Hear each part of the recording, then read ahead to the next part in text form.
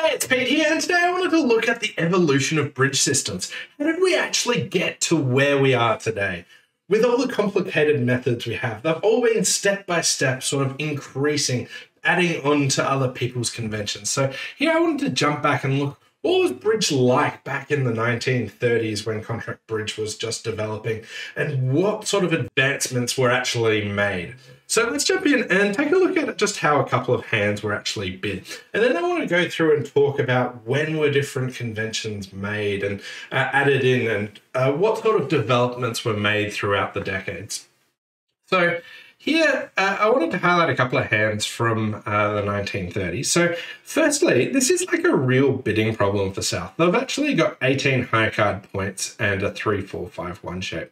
And it gets pretty awkward where after you start with one diamond and they overcall one heart, uh, what would actually follow? So, here, the way that this hand was actually bid at the time was it then went pass pass, and South has a pretty difficult problem. What would you actually do?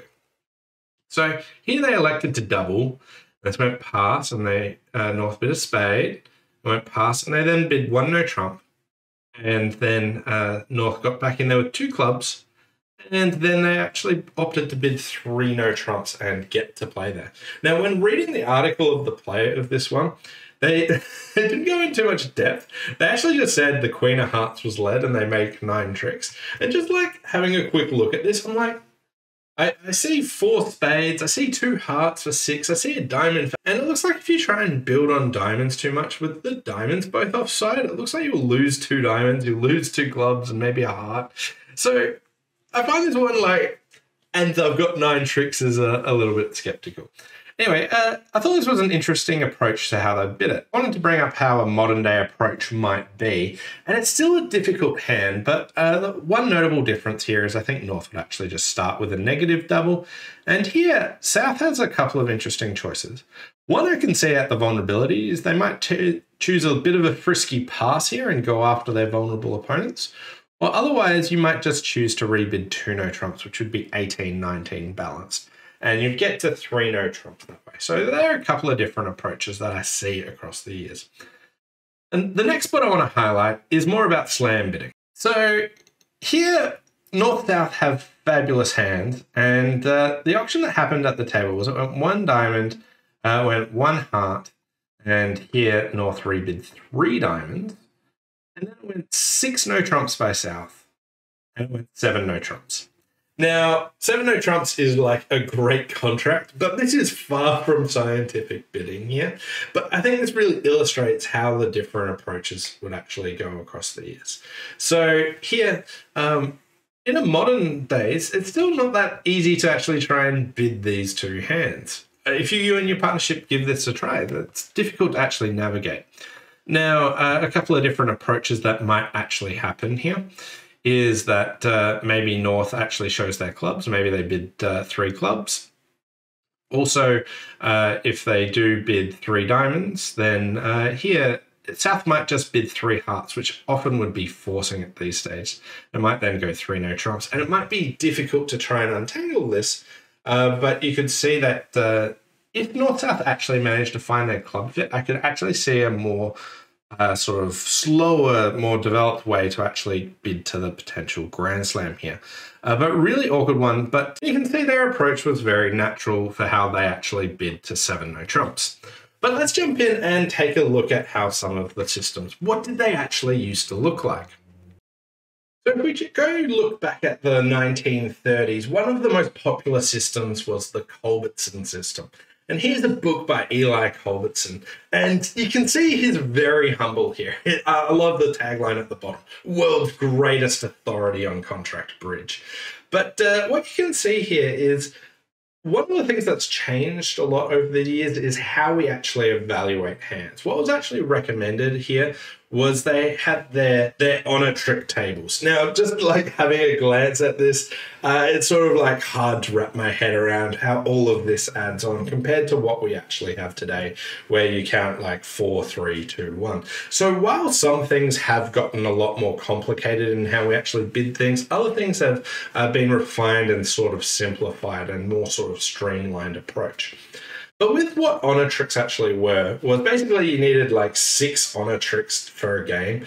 And here they describe something called the rule of eight, which was this general principle that of the 13 tricks that were won uh, throughout a bridge hand, four were with aces, four were with other honors, and five were with small cards. And they were trying to use these honor tricks to gauge how high you should actually go. Now, something that uh, I have about general approaches here was what I found curious is that their structure for what hands can actually open one no trump. So in the Culbertson method, you would only open one no trump with four three three three shapes. Outside of that, they love bidding suits. And what they introduced there was the approach principle, which is sort of like the slow exploration of different suits as you go on. Other notable thing from this time is what's called the 4-5 no trump convention uh, which is where you bid four no trumps when you hold three aces or two aces and a king of a suit that's being bid. And it's kind of like the precursor to Blackwood. Uh, but you can see how this is another example of something that complicated, but has actually managed to be uh, streamlined uh, down a bit. Uh, there were other systems uh, developing around the same time, and one I want to touch on is the official system. Uh, this is like derives a lot from uh, the Culbertson system. Uh, one of the important things is Milton C. Work featured here. The official system advocated for the 4-3-2-1 point count system. Uh, and this wasn't invented by uh, Milton Work, but he he initially disliked it for quite a while, and then he was a really strong advocate of it, and he was trying to popularize it um, in the sort of late 20s. Uh, so it was there around the same time as the Culbertson honor trick method. And he was such a strong advocate, it became known as the work point count system.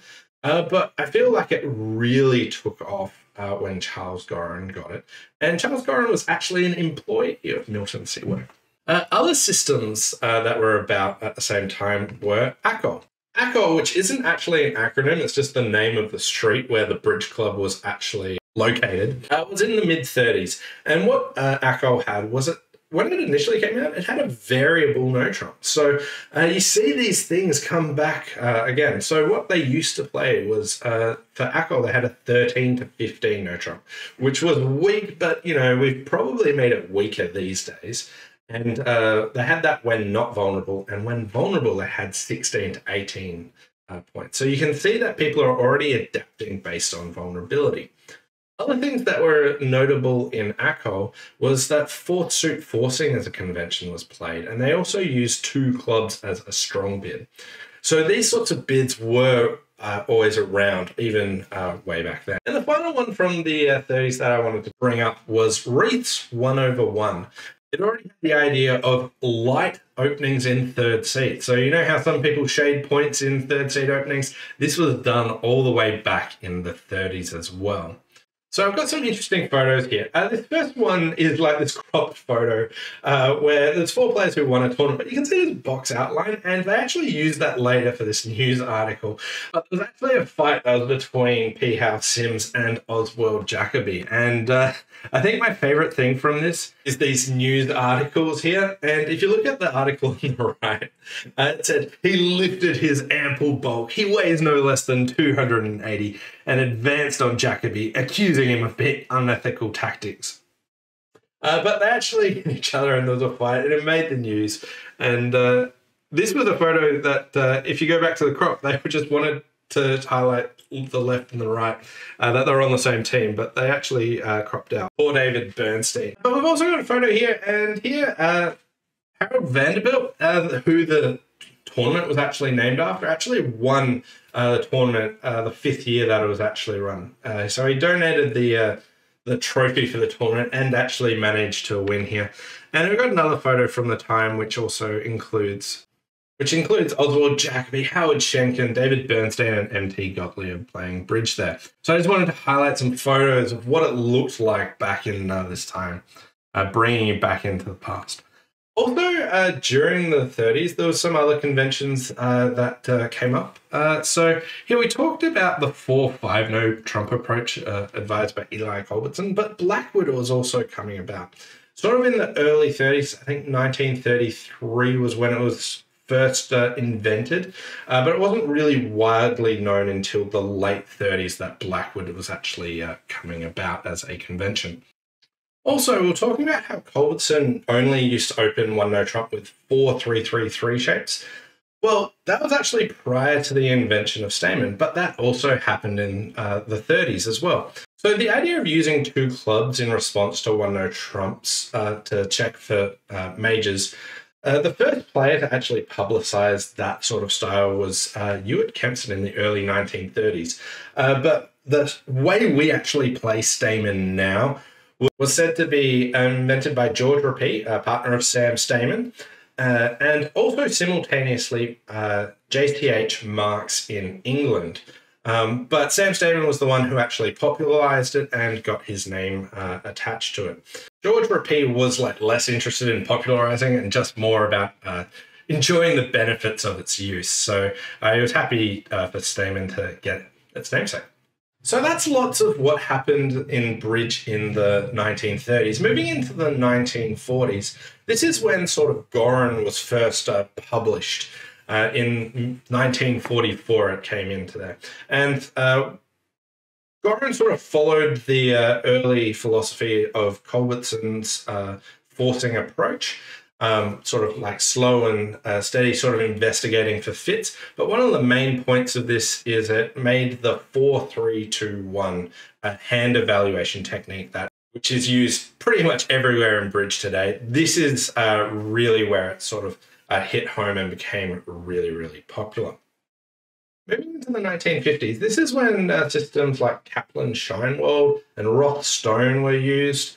So, what Kaplan Sheinwold brought to the table was it was uh, aimed at more precisely trying to show you points on all the bids. It also added things uh, with inverted minors and had other uh, features such as unusual two no trumps and Michael's cue-bid, and also Landy as a defense to one no trump.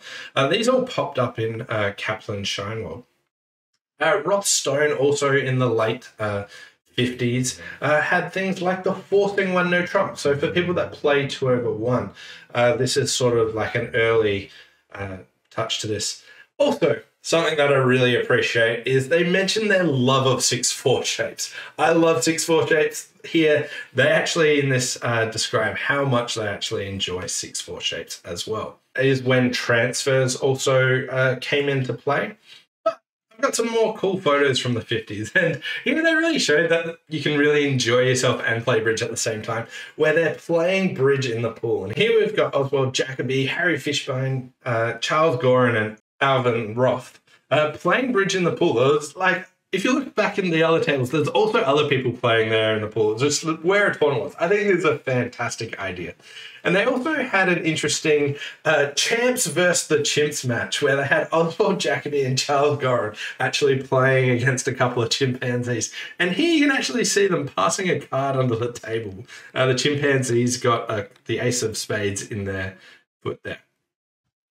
Moving into the 60s, this is when actually lots of strong club systems really started to pop up. Uh, but this wasn't the first introduction of strong club. Uh, there was actually something called the Vanderbilt Club, which right at the beginning uh, there had uh, strong club systems. And uh, basically it was forgotten for a few decades, but then revitalized here. So we've got the Neapolitan uh, or Blue Team Club played by the uh, Italians. What this really introduced was a strong 17 plus club. And they had uh, responses showing uh, controls where you might have two for an ace or one for a king. And their other bids were actually uh, limited openings. Similar time to this was also the introduction of precision by CC Wei, and also a relay system by Pierre Ghestem, which uh, introduced ideas of like when you open a strong club, having a one diamond negative response and relay bids, which are more like asking and response sorts of questions that actually popped up there. And I think this has given us like a good understanding of like where lots of our systems come and where some of the absolutely fundamental conventions that we've actually played have grown across the years and just seeing that they've been layered on top of each other's and different approaches. But we've had some uh, really interesting stuff right from the early days of Contract Bridge, and they've added in more and more stuff. So I hope you enjoyed this deep dive into where systems came from and how they developed in those early years and all the way through to the 60s. In these later years, there's been conventions added on, but you can see where these general system structures actually really came from. Anyway, thanks for watching, and I'll see you next time.